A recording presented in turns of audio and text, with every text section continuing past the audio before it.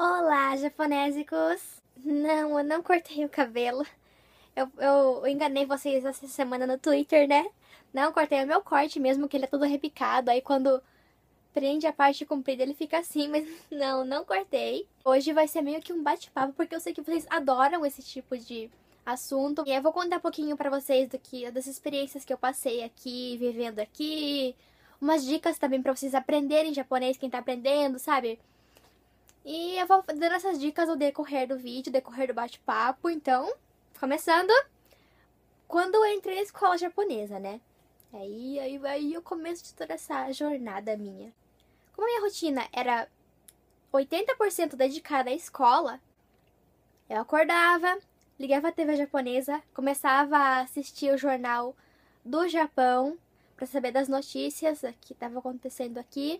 Até porque as notícias caem na prova de social, então era importante saber e assistir o jornal. Enquanto eu, na verdade, eu não assistia o jornal, eu ficava ouvindo e me arrumando para a escola ao mesmo tempo, né? Já começava por aí, assistindo TV japonesa. Passava lá o dia inteiro na escola, almoçava com os japoneses, conversava com eles no recreio. E só no finalzinho da tarde voltava para casa, fazia dever de casa, tomava banho, jantava e assistia TV japonesa também. Porque tem aqui o, o, o, Golden Time, que é chamado que é um horário que passa muita programação boa. E eu adorava assistir. Então, sempre quando eu terminava a lição de casa, eu ficava assistindo TV. Até porque passam os programas do grupo que eu gosto. Gostava muito mais ainda naquela época, que eram os programas do Arashi. E é claro que quando você consegue amigas japonesas, começam a falar sobre música, sobre coisas da TV, e você quer acompanhar. Então eu comecei a ouvir J-pop e assistir doramas. Porque elas sempre falavam das novelinhas que passavam aqui. Aqui no Japão, as novelinhas passam várias em... e cada dorama passam um episódio por semana. Então você tem que esperar a semana inteira, sabe, pra, pra ver o próximo capítulo. Isso é bem torturante para mim. E aí eu comecei a ficar viciada nessas doramas. Comecei a gostar de música japonesa, né? Que eu falei que era bem viciadona mesmo em Arashi. Comecei a ouvir bastante música japonesa, me interessar pelas letras. E naquela época, como eu não sabia muito ainda, eu, traduzia. E dali você já começa a aprender mais, né? Aí eu queria saber mais sobre o grupo, aí eu pesquisava sobre eles, comecei a assistir mais ainda TV japonesa. E aí eu fui o japonês vai entrando, sabe? Muita gente me pergunta, mas Jéssica, foi difícil para você aprender o idioma? Foi difícil aprender kanji? Mas quando você tem a sua vida nesse país, você vem pro país, não tem outra escolha, entra meio que naturalmente. Né? Ainda mais quando a gente tem a oportunidade de estudar numa escola japonesa ou trabalhar em volta de japoneses. Isso não é uma coisa forçada, então é bem gostoso de aprender, sabe? É muito mais difícil para vocês que estão aí aprendendo japonês aí no Brasil, porque você não vai sair na rua e vai achar placas escritas em japonês para treinar o seu idioma, né? Vai ser tudo em português. Então, claro que a melhor solução é vir para o país estudar, né? Mas quem não tem essa oportunidade, força aí que vocês conseguem, tá? Aí, como eu disse, escola o dia inteiro falando com japoneses, assistia novelinha japonesa, ouvia só J-pop. Foi entrando tanto, tanto japonês na minha cabeça que comecei a pensar em japonês. Quando você está pensando lá com o seu cérebro, você pensa em português, né? É, os brasileiros pensam em português. Eu comecei a pensar em japonês. E essa é uma dica assim, excelente para quem quer aprender o idioma, quem está aprendendo ainda o idioma, é pensar em japonês. Eu recebi um comentário, agora não me lembro o nome da garota que me perguntou, mas ela perguntou assim: Jéssica, você pensa em japonês? É claro que eu penso em japonês, eu tô aqui nesse país, eu falo japonês. E sim, eu penso em japonês. Gente, eu estudava o dia inteiro na escola japonesa, ficava só vendo programação do Japão, 80% do meu cérebro era eu pensava tudo em japonês, tudo, tudo, tudo em japonês. Só que tem um problema aí, né? É, a minha mãe não fala japonês. Eu já falei isso em outros vídeos, ela não fala japonês. E quando eu chegava em casa para falar com ela, as palavras iam sumindo da minha cabeça. Meu Deus, eu não conseguia mais, eu não lembrava mais de nada. Foi. Eu ia falar com a minha mãe, mas mãe, aquela palavra, então eu não lembrava. Eu sei em japonês, mas não sei em português. Eu conversava com alguns inscritos pelo Twitter e, tipo, meu português estava muito escroto. Ainda tá. Mas eu lá, naquela rotina de japonês, sem estudar português, direto falando japonês, aprendendo novos kanjis. E não tinha, assim, sabe, um tempo para me dedicar a ler um livro em português. Aí depois que eu comecei o Jéssica 2 Mini, eu comecei a assistir muitos, mas muitos vlogs do Brasil. E teve uma época que eu comecei a assistir Disney Channel, em japonês, é claro. A gente assinou o pacote, eu comecei a assistir Disney Channel, fiquei viciada. Aí depois eu comecei a assistir Todo Mundo Deu Cris, pelo computador mesmo.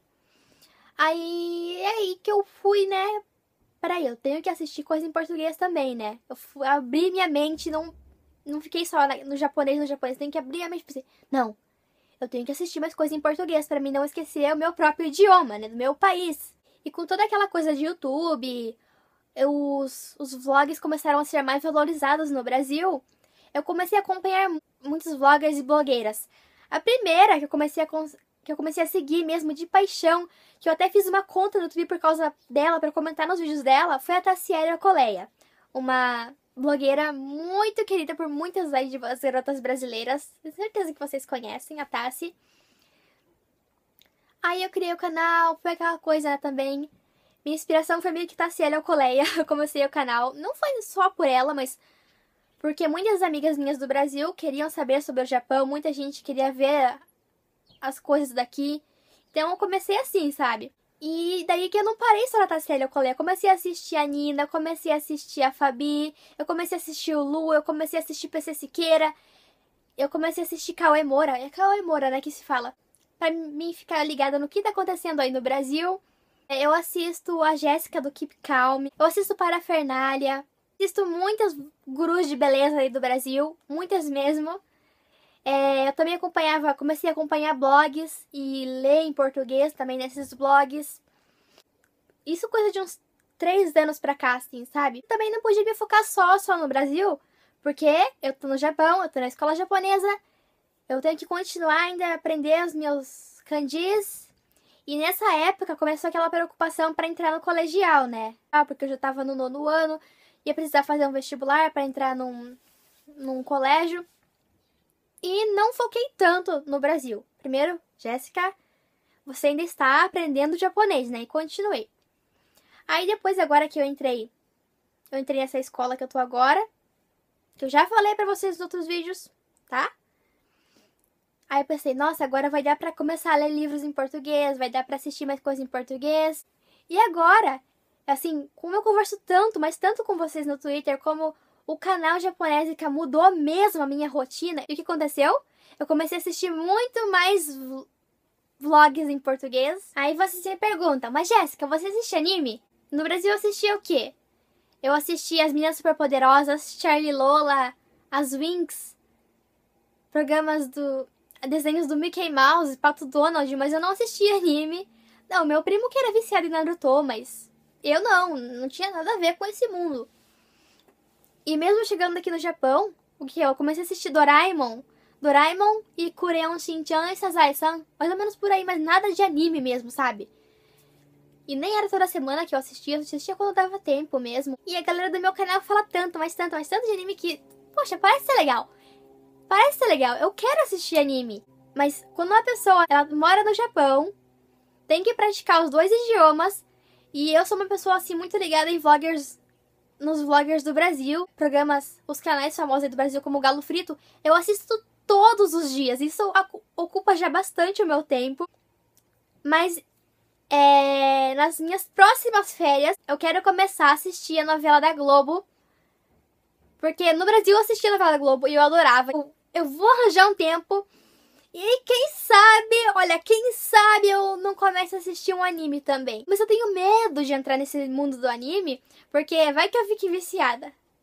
A pessoa vicia, aí não quer assistir outra coisa, porque eu sou meio que uma metamorfose ambulante. Eu prefiro ser esta metamorfose ambulante. Tá, peraí. Uma hora eu tô. Eu só assisto dramas japoneses e eu sou J-pop, outra hora eu começo a assistir Todo Mundo Odeia o Chris e fico viciada, aí outra hora eu começo a assistir Disney Channel, aí outra hora eu fico viciada em K-pop.